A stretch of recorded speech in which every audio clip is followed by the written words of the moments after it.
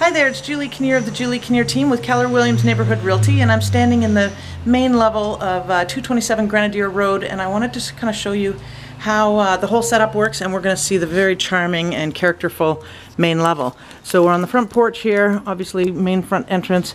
It's so cute as you walk out, and you can see it's got nice brick bay windows.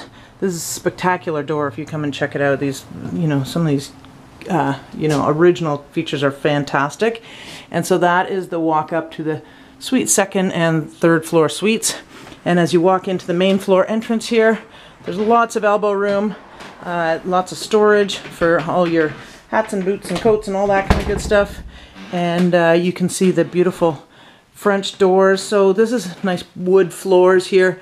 Big, huge window, nice original fireplace. That's that bay window really exceptional ceiling height with, you know, crown moldings and all that kind of cool stuff here. Uh, so, you know, this could be used as a bedroom or obviously it's a fantastic living room. Uh, this suite also gets the use of the garage, so they there's tons of storage and or parking for your car. And uh, there's lots of closet space here. And uh, so here we go, a nice big open concept kitchen and modern. And so this has had a number of uh, you know, renovations and changes over the years. It was all converted into a four unit in 1989 and 2006 or 2009. A lot of upgrades happened, and again, the kitchen and bathroom, uh, another in 2016. So this is the walkout to the, uh, you know, main floor deck, and it's south facing yard. And of course, you're in High Park, so you get lots of cats around here. And neighbors are fantastic. I know a lot of them personally, so I can vouch for them.